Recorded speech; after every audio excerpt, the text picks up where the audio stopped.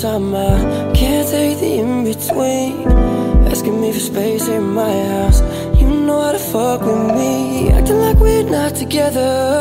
After everything that we've been through. Sleeping up under the covers. I'm so far away Vou começar ensinando o molde do short de uma maneira bem fácil e simples, tá? Uma das poucas medidas que a gente vai precisar e que vai ser essencial para determinar o tamanho do nosso modelo é a medida do quadril. Vai pegar a circunferência total do seu quadril e vai dividir por 4, colocando 2 centímetros a mais de folga, porque esse short ele é bem folgadinho no corpo. Então você vai pegar aqui, vou traçar o molde assim, vocês vão estar vendo mais ou menos de cabeça para baixo, porque eu vou traçar daqui para baixo, cintura para baixo. Na hora de traçar aqui no papel, eu vou dar uma margem de 10 centímetros centímetros para eu poder já deixar a minha distância de gancho. Então eu vou deixar essa distância aqui.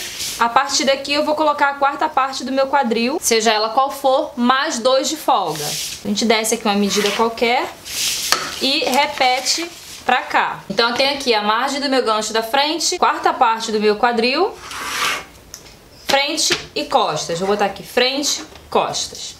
Agora eu vou determinar a altura da minha peça. Você vai colocar a altura que você quiser, medindo desde a parte mais alta da cintura, porque esse short ele não tem cós. Então você vai colocar mais ou menos na altura do seu umbigo e vai descer na lateral do seu corpo a medida que você quer.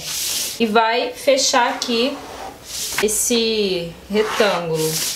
E agora você vai medir a altura do gancho. Se você não sabe como tirar a altura do gancho, eu vou deixar um vídeo aí linkado pra vocês, que é onde eu explico todos os detalhes de como tirar todas as medidas do corpo pra você fazer uma roupa, que é a primeira aula do meu curso gratuito de costura que tá aqui no canal. Então é importante você assistir pra você entender. Tem que tirar sentadinho, numa superfície plana que não afunde, e aí você vai pegar a sua fita pela lateral do corpo, da altura do umbigo até chegar no assento. Você vai obter uma medida ali, você vai jogar aqui, lá de cima da cintura pra baixo. E aí você vai encontrar a linha do seu gancho. Aqui eu fiz essa linha porque eu tinha feito a altura do quadril, mas não precisa, tá? É só a altura do gancho mesmo. Então a gente tem aqui, ó, a altura do gancho. Recapitulando aqui rapidamente, temos aqui quarta parte do quadril para frente, quarta, quarta parte para trás. Então aqui a gente tem o que? Metade do quadril, né? Mais 2 centímetros de folga, altura total da peça que você quer partindo lá de cima da cintura, altura do gancho e agora a gente vai fazer a largura do gancho, pra gente fazer a curvinha. Gancho de trás dividido por 2. Você vai medir aqui, que na verdade é essa quarta parte do quadril aqui que vai fazer a sua peça de trás, dividido por 2. Então eu vou pegar, vou medir e vou jogar essa medida pra cá. E aí vai ser de acordo com as suas medidas, tá? Aqui eu vou jogar uma diagonal de 7 centímetros. 5 centímetros é pra uma peça coladinha no corpo. E aí você começa a acrescentar um centímetro de acordo com a folga de vestibilidade que você quer. Como esse short ele é bem folgadinho, então eu coloquei dois a mais. Aqui na medida desse gancho a gente já pode descer a entrepernas, que vai ser aqui a medida final da largura do meu short. Só falta a gente curvar aqui. Pra fazer o gancho da frente, eu vou pegar toda essa medida aqui, olha, desde o início aqui da peça de trás até o final e dividir por 4. Vou jogar aqui onde vai ser o meu gancho da frente. E aí eu faço também uma diagonal com a metade da diagonal de trás. Então se eu joguei 7 lá na frente, lá atrás, eu vou jogar metade aqui na frente, que é 3,5. Também posso fechar aqui a minha entrepernas. Agora venho com uma régua curva e só vou traçar aqui a curvinha do meu gancho, começando aqui retinho na reta da linha do gancho, pegando nesse ponto da diagonal e encontrando aqui a reta do short. Mesma coisa na peça de trás, mesmo que faça por etapas, tá? Então, ó, primeiro encontrei aqui, depois eu vou ajustar para encontrar aqui a minha linha da peça. Qual é a ideia desse short? É ter a mesma medida da largura do quadril para a cintura e para baixo na barra da perna. Por quê? Porque aqui a gente vai fazer o ajuste da cintura com elástico e também com a fitinha que amarra, que vai deixar todo aquele frufruzinho para cima, que é o efeito principal dessa peça. Você pode botar o comprimento de uma calça, sendo que se você descer pro comprimento de uma calça, é importante você deixar ela na altura da metade da canela, no máximo até o tornozelo, não é uma calça comprida, tá? e ela tem que ir afunilando como se fosse uma calça cenoura. Então você vai fechando para ela poder afunilando e em cima ela tem esse volume, tá certo? Não esquece de colocar aqui na barra da sua peça a quantidade para bainha. Eu já coloco a minha medida final contando com 2 centímetros de bainha. Se você não colocou, você acrescenta agora para poder cortar do tamanho certinho sua peça não diminuir de tamanho, tá?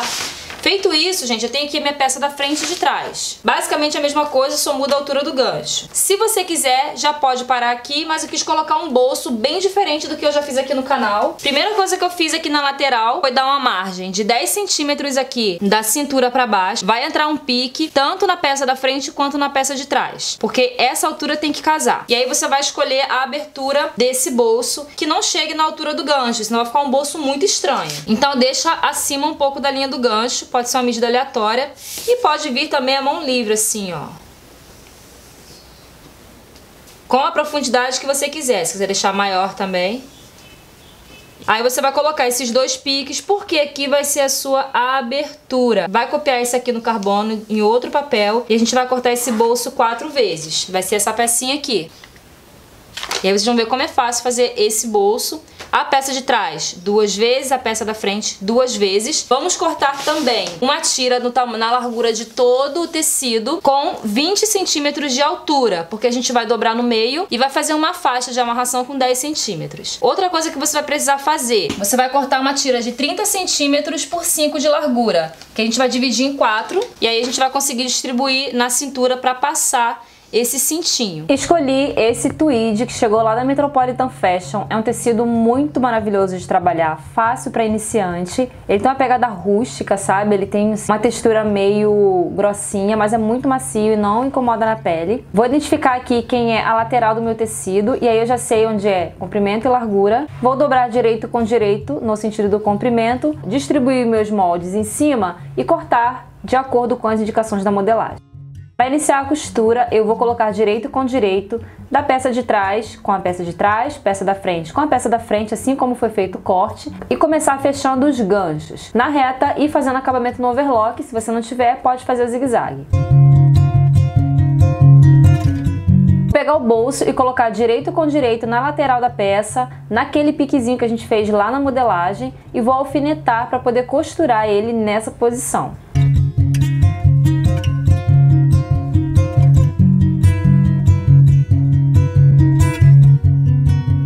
E eu dei uma acentuada ali nos piques, no início e no final da costura, porque quando a gente virar o bolso ele tem que ficar assim. Preguei as quatro peças e agora eu vou colocar direito com direito do meu short frente e costas, fechar desde lá de cima, contornar o bolso e descer até a barra, dos dois lados. Feito isso agora, eu vou fechar entre pernas lá embaixo, ó, direito com direito, para finalizar aqui a montagem. Ó, aqui ficou o bolso, tá vendo? Bem discreta a montagem dele. Só que agora eu vou fazer um contorno aqui de, de pesponto para poder deixar esse bolso bem chapadinho, bem limpinho e não ficar aquele fofão aqui do lado. Nessa hora, aqueles piques vão ser muito importantes para não repuxar a costura nem no início nem no final.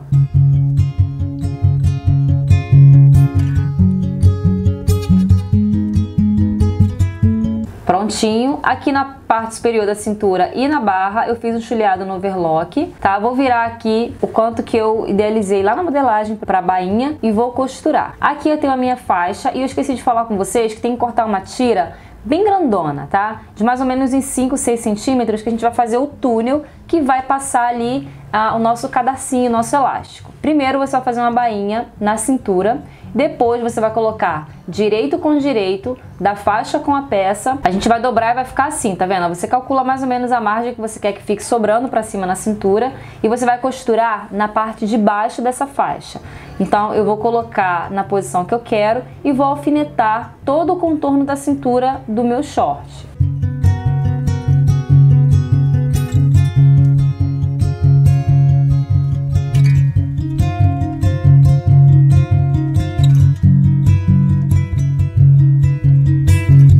Finalzinho, que vai ser em uma das laterais, é importante a gente virar a pontinha assim para dentro para já fazer o acabamento. Então eu vou dobrar, alfineto e faço isso dos dois lados. Vai ficar essa aberturinha que é onde a gente vai passar o elástico. E eu costuro na parte de baixo.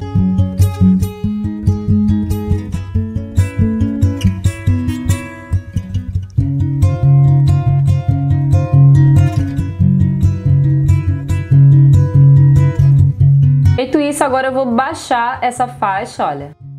Dessa forma aqui, na frente e atrás, pra gente finalizar. Vou dobrar mais uma pontinha, virar para baixo e alfinetar de novo todo o contorno, porque aí a gente vai finalizar esse túnel. Agora eu vou costurar na parte de baixo.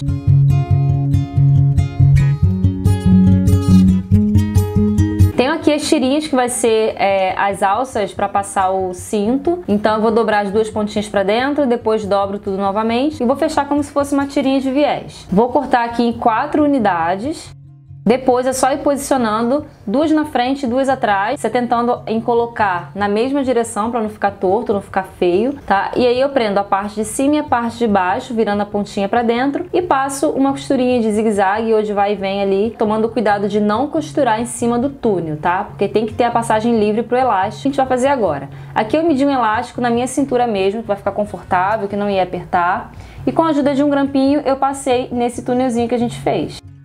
Aí a gente junta as duas pontinhas do elástico com uma costura e depois é só puxar assim a cintura da peça que ele vai se ajustando. Fica assim, ela já tá com a nossa carinha, né, o nosso modelinho final, ó. Fica bem limpinho por dentro, tá vendo? Agora aqui eu tenho a minha faixa de amarração, que vai ser o cintinho, costurei direito com direito e deixei uma, uma aberturinha bem no centro, tá? Pra poder a gente revirar essa peça. Depois de revirar tudo, eu vou pra máquina e faço uma costura em todo o contorno dessa peça pra poder deixar ela bem firme. Depois disso é só passar ali nas alcinhas e tá pronto o nosso modelo. Não esquece de passar lá no blog modemode.com para conferir o look lindo que eu preparei para vocês e já avaliar esse vídeo, tá? Se inscrever no canal e me seguir lá nas redes sociais. Beijo, fiquem com Deus e até o próximo vídeo.